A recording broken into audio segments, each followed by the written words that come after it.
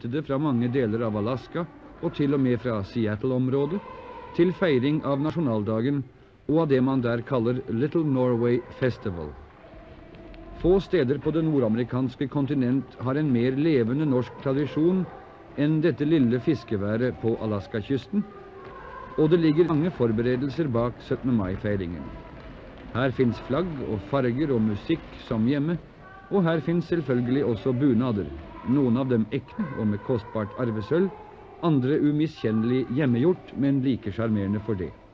Og blant barna i Leikaringen skimtes ofte en og annen vossing eller harding med utpregede indianske trekk.